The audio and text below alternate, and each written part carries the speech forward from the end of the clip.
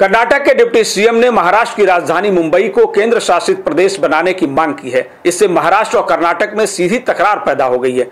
दरअसल, कुछ दिनों पहले महाराष्ट्र के मुख्यमंत्री उद्धव ठाकरे ने कर्नाटक के मराठी भाषी इलाकों को महाराष्ट्र में शामिल करने की मांग की थी। इस पर नाराज़ कर्नाटक के डिप्टी सीएम ने देश की आर्थिक राजधानी मुंबई को ही केंद्र शासित प्रदेश बनाने की मांग कर डाली है। हालाँकि महाराष्ट्र के डिप्टी सीएम अजित पवार ने कहा है कि मुंबई महाराष्ट्र में ही रहेगी। इस पर शिवसेना सांसद संजय राउत भी बिफर गए हैं। उन्होंने केंद्र की मोदी सरकार पर हमला बोलते हुए कहा कि कंगना रनौत और अर्नब गोस्वामी पर तत्काल फैसला देने वाली केंद्र सरकार महाराष्ट्र और कर्नाटक का सीमा विवाद निपटाने पर आखिर चुप क्यों है?